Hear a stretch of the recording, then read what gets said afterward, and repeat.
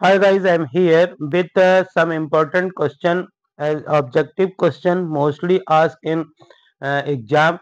इसी प्रकार के क्वेश्चंस के लिए प्लीज़ सब्सक्राइब कीजिए पंकज इंस्टीट्यूट ऑफ़ इंग्लिश तथा इसे ज़्यादा से ज़्यादा लाइक और शेयर करिए यहाँ पे क्वेश्चन नंबर 11 से लेकर के 22 तक दिस 10 और 11 question which of the following is a preposition question number 11 question number 11 question number 11 which of the following is a preposition so preposition are those word which placed before noun and pronoun and shows the relation with rest of sentence तो preposition इस sentence में जो है, वो आपका कौन सा है? ऑप्शन सी बिसाइड क्योंकि स्लोली जो है, वो एडवर्ब है ब्यूटीफुल एडजेक्टिव है क्विकली भी एडवर्ब है ओनली बिसाइड यानी कि बगल में जैसे the book is beside he was sitting beside me.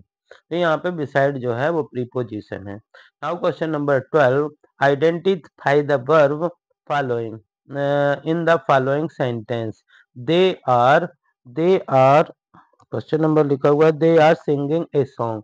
तो यहाँ पे जो वर्ब है वो singing singing is correct word singing. Yes they are singing a song. So यहाँ पे जो सिंगिंग होगा।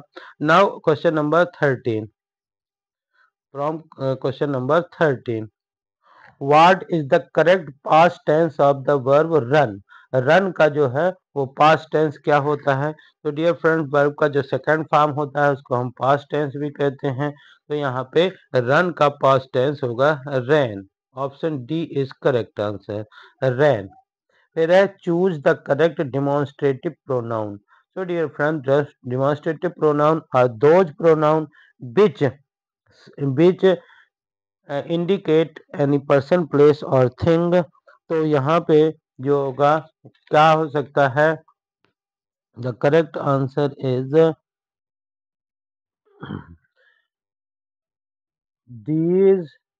this and option मतलब A A, that, this, that, these, ये तीनों जो होते हैं, वो करेक्ट डिमोन्स्ट्रेटिव प्रोनाउन होते हैं। The correct answer is A C and D A C and D is the correct answer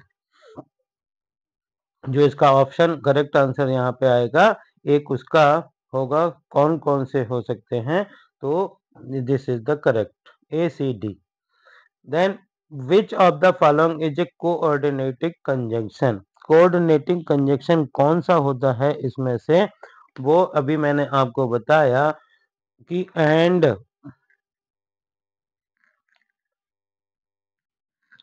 यहाँ पे बताया गया कि एंड बट और नॉर जो हैं, इनमें से कोऑर्डिनेटिंग कंजक्शन होते हैं।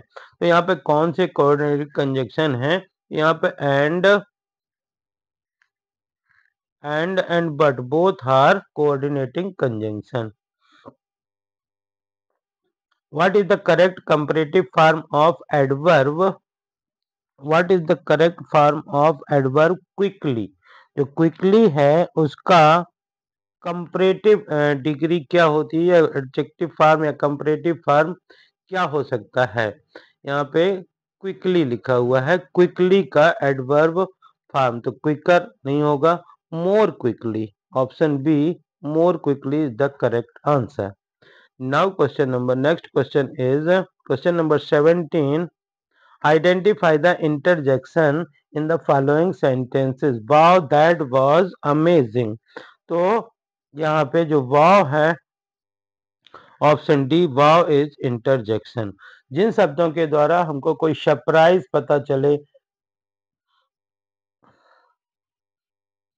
सरप्राइज़ पता चले सडन फीलिंग्स ज्वाय की हो शौरों की हो ग्रीफ की हो, ये पता चले तो वो इंटरजेक्शन होते हैं। यहाँ पे वाव जो है, खुशी को बता रहा है। Now question number 18 which of the following is a countable noun so that noun which can be count is called countable noun जिसे हम गिन सकते हैं। तो जैसे वाटर को नहीं गिन सकते हैं हैप्पीनेस को नहीं गिन सकते हैं इंफॉर्मेशन को नहीं गिन सकते हैं। किसको गिन सकते हैं? केवल हम मनी को गिन सकते हैं। तो यहाँ पे ऑप्शन सी जो होगा वो countable noun